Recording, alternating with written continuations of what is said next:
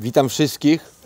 Dzisiaj zaprezentuję kolejne magiczne urządzenie, absolutnie niezbędne do, do prac warsztatowych, kiedy mamy do zrobienia jakąś po prostu przygodę blacharską, niewielką albo większą.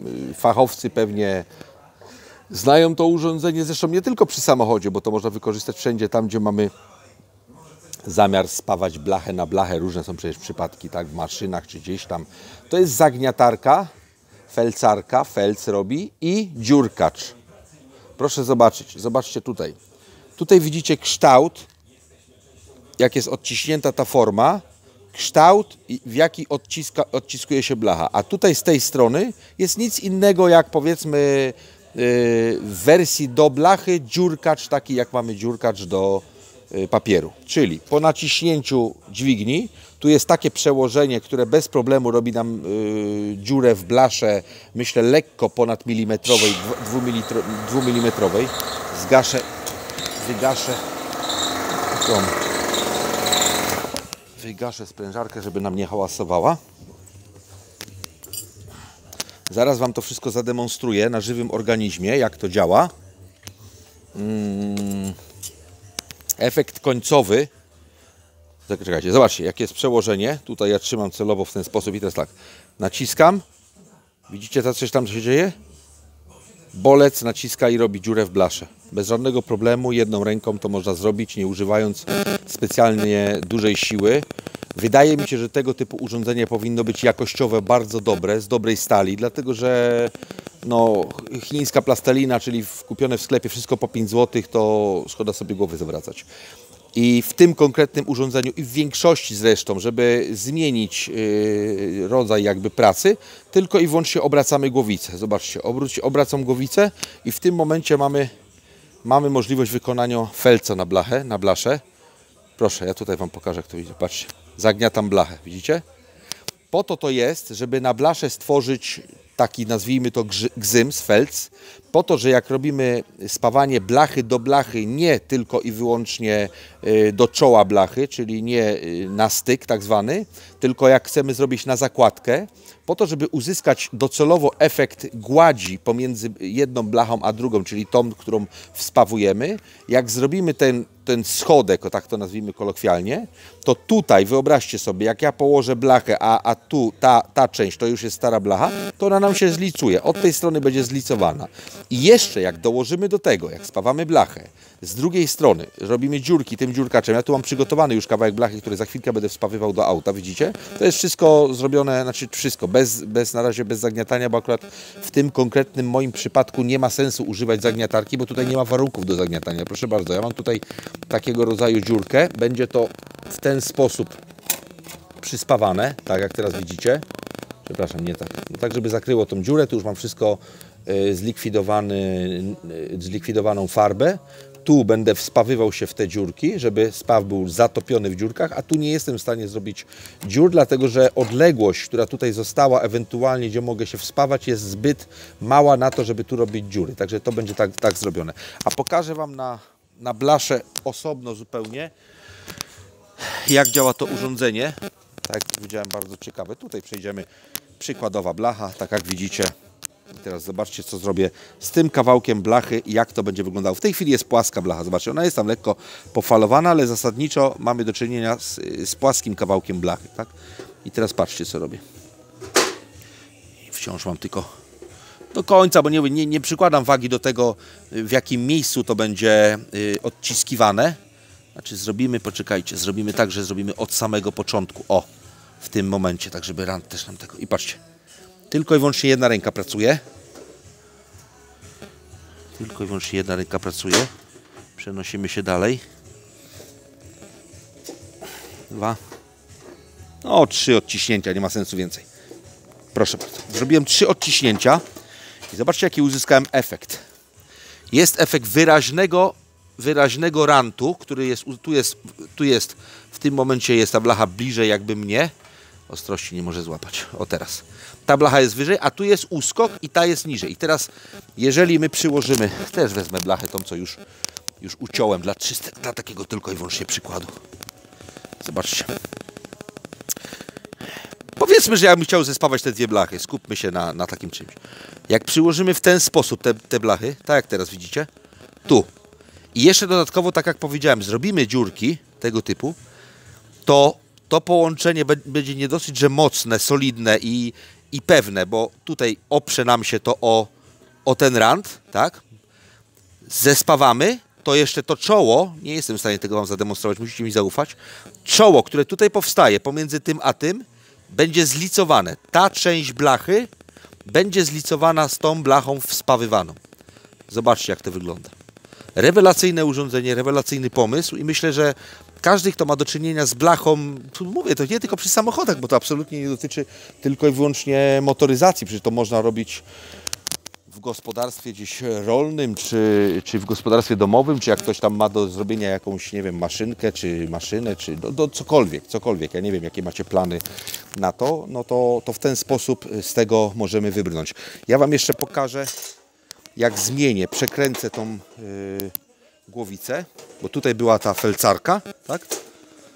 Teraz tak, przekręcam, proszę, mam ustawione na dziurkacz. Przypuśćmy, że ja w tym, co tutaj wygiąłem, chcę zrobić dziurki. Czyli chcę, zobaczcie, chcę zrobić tak jak tam pokazywałem Wam jedną ręką. Nie wiem, dwie zrobię, żeby było. Zobaczcie, używam jednej ręki. Patrzcie na to. Jedna ręka. Blacha jest dosyć gruba, chociaż może tego nie widać. Proszę, widzicie? I tu jak przyłożymy całą blachę niedziurkowaną w tym miejscu na górze, to od tamtej strony spawając w dziurkę, dosłownie w środek, no wiadomo co robimy, tak? Blacha nam się jedna z drugą łączy. Nawet po zespawaniu tutaj tej części, po spawie już, po, po wykonaniu spawu, jeżeli chcemy tą część uzyskać na gładko, też jest to możliwe, dlatego że spaw powinien nam się zatopić w dziurce. On powinien być wystarczający na to, żeby chwycić zewnętrzną część tego otworu tutaj od tej strony i środek tego, co jest, co pojawia się w otworze, jeżeli chodzi o nową blachę. Fajne urządzenie, polecam. Wpadłem na to też gdzieś przypadkowo kiedyś na to narzędzie. Jest u mnie no, już bardzo długo. Nie ukrywam, że może korzystałem akurat z tej maszynki dwa razy. Dzisiaj robię jakieś tam prace blacharskie przy samochodzie, których ja nie wykonuję, bo akurat blacharzem nie jestem, ale powiedzmy, że w busie mogę sobie pozwolić na to, żeby no, żeby coś takiego próbować, yy, próbować zrobić. Jak chcecie zobaczyć, jakich narzędzi używam, co ja tutaj mam w zasobach, no to, to mogę Wam tak w skrócie pokazać. No wiadomo, to są szczypce, którymi będę ewentualnie przymocowywał blachy, które tutaj wytnę pod kształt tego, tego rejonu. Co tu mam? Mazak do zaznaczenia, ewentualnie jaki kształt tej blachy wyciąć. No to to są śruby, które z koła odkręciłem. No tam szczypce takie może, tak jak widzicie, tutaj nożyce do, brach, do blachy. Tutaj mam... Yy, szlifierkę, ale na końcu, to no, szlifierka, na końcu mam założony, zobaczcie, taki, takie coś, które mi gdzieś tam robiłem y, podszlifowywanie otworu na jakiś tam określony mój kształt. Tutaj mam do cięcia blachy, cienką tarczę założoną. Polecam narzędzia pneumatyczne w ogóle, doskonale to się spisuje, nie trzeba elektrycznych. To jest fajne też, też bym polecił. Już Wam powiem o co chodzi. Znaczy nie mówię teraz o narzędziu samym jako takim, tylko o, o tym, co tutaj chcę Wam pokazać. Zobaczcie, to jest przy, przykręcona głowica do szlifierki, okrągła i patrzcie, jedną ręką tam jest gwint. O, ja Wam pokazuję. Zobaczcie, widzicie to? I te nakładki, w, w róż... patrzcie, to jest tylko i wyłącznie stojak do, do poszczególnych jakichś tam elementów, które, przy, które będziemy tu przykręcać. To jest tylko takie coś, co wkręcamy na stałe w szlifierkę a zobaczcie, jakie są możliwości, bardzo, bardzo, bardzo duże. Po pierwsze, to mamy do czynienia z taką siatką, która ona się doskonale spisuje przy zdzieraniu starej farby, na przykład z samochodu, że nie, jest, nie uszkadza nam e, blachy samej w sobie, ale jak mamy rdzę, bądź, znaczy rdzę to też jakąś określoną oczywiście jej strukturę, bo jak jest duża rdza, no to wiadomo, że takim czymś nie zrobimy, czy go czy piaskarka, czy tak jak już wcześniej demonstrowałem, motek pneumatyczny, ale to jest doskonałe do farby, jakieś ewentualnie resztki konserwacji, tego typu historia. I tego, tego typu yy, te wkręcane elementy, tutaj jest nowy, pokażę Wam jak wygląda nowy, Oczywiście tu mówimy o małej średnicy, tak? bo są też, znaczy nie nowy, on jest trochę już podcięty, ale on mniej więcej ma taką średnicę. Różna jest gradacja tych kamieni, nazwijmy to, tych, tych, tych, tych tarcz. Tutaj jest zupełnie inna, e, inna tematyka. Widzicie, tu już jest bardziej taki no, no inna gradacja, jest to cieńsza tarcza. No widzicie, o, tu jest taki nawet, tu jest bardzo gruba. Nie widać, nie widzicie tego, ale musicie mi zaufać. To jest bardzo duża y, gradacja, jeżeli chodzi o ten konkretnie, to, ten wkład. Ale również do tego możemy dokupić papiery ścierne, widzicie? Małe, niewielkie papiery ścierne. Tutaj mamy akurat do czynienia z 36, jeżeli chodzi o, wiecie o co chodzi, o jego grubość i też takie papiery dokonujemy do precyzyjnych prac y, jakichś blacharskich, rewelacyjny zestaw, czyli tak jak pokazałem, nakręcamy na szlifierkę tylko tą głowicę, tą końcówkę obracaną, a tutaj za pomocą szybkiego ruchu, takiego krótkiego gwintu na pół obrotu można powiedzieć, dokręcamy w zależności od potrzeb różne tego typu yy, końcówki. Możemy oczywiście, o proszę, tutaj mam większą, jakby ktoś chciał większą jakąś pracę wykonywać, to to jest większy typ, nie wiem ile ona ma średnicy, może 8, 8 cm. Zobaczcie.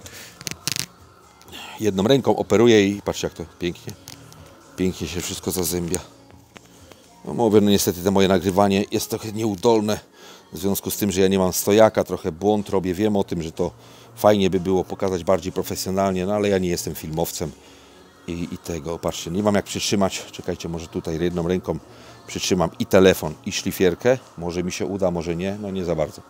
No ale o, krótkim ruchem, patrzcie, o, jedną ręką yy, prawie przykręciłem, o, jeszcze trochę bym dokręcił i to już jest, to już jest yy, no, wkręcone. O, jednym ruchem wykręcam.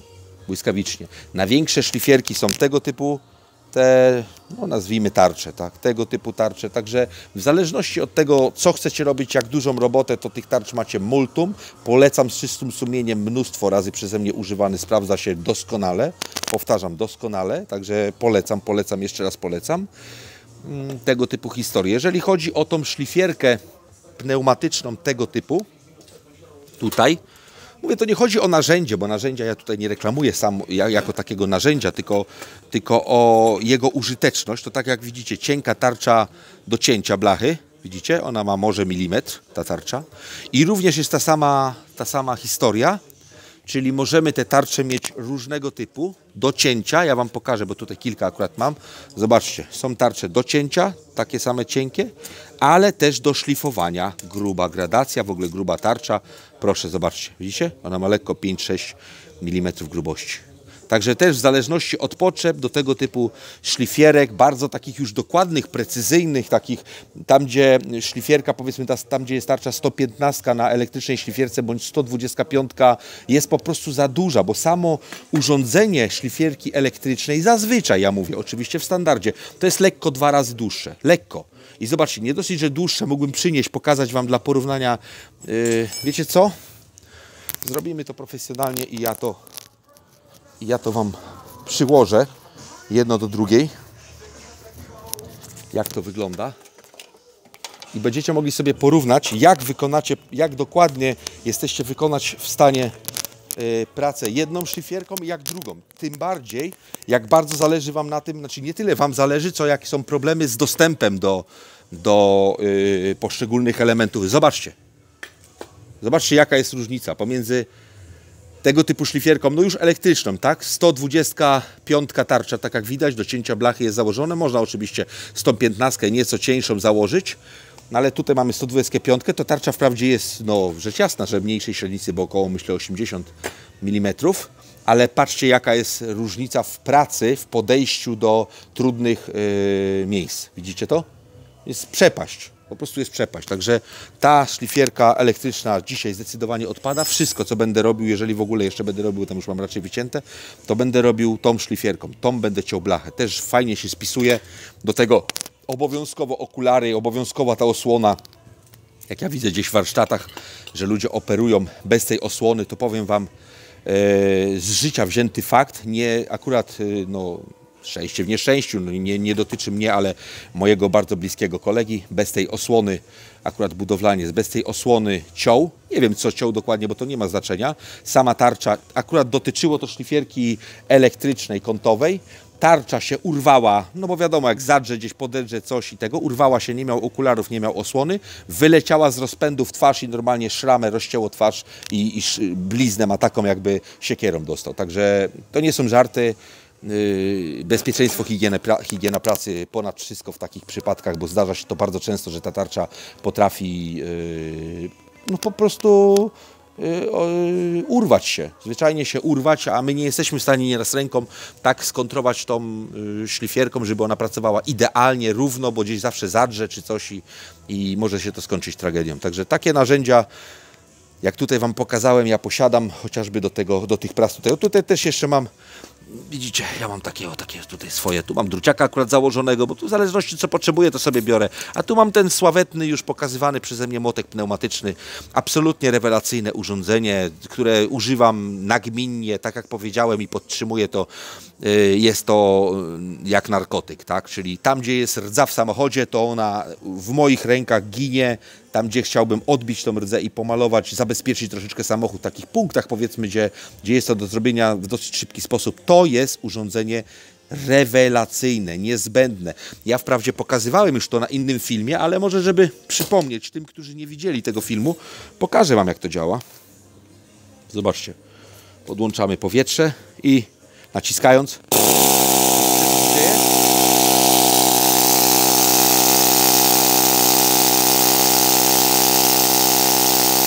Jakbyśmy zrobili pomiar, ile te druciki wyskakują i się cofają, to według mojej osobistej oceny to jest 5 mm, czyli w szybkim tempie, każdy chaotycznie inaczej, uderza, wraca, uderza, wraca i to, te szpice tutaj tych bardzo twardej, z twardego materiału prętów, uderzając bezpośrednio w miejsce rdzy, powoduje to, że działa to urządzenie tak, jak można powiedzieć w jakimś sensie piaskarka, która też uderza śrutą, uderza mm, czyściwem, uderza tym elementem, ty, ty, ty, tym materiałem ściernym, jakie używamy. Nie wiem, czy to jest soda, czy mówię, no różne są, tak? Czy to są jakieś y, innego rodzaju granulaty. To to robi robotę taką y, bardziej punktową, bardziej nad którą jesteśmy w stanie zapanować. Rewelacyjne urządzenie. Najczęściej używam tego urządzenia, jeżeli chodzi o te, o te moje narzędzia pneumatyczne. Polecam każdemu mieć, w warsztacie po prostu mieć.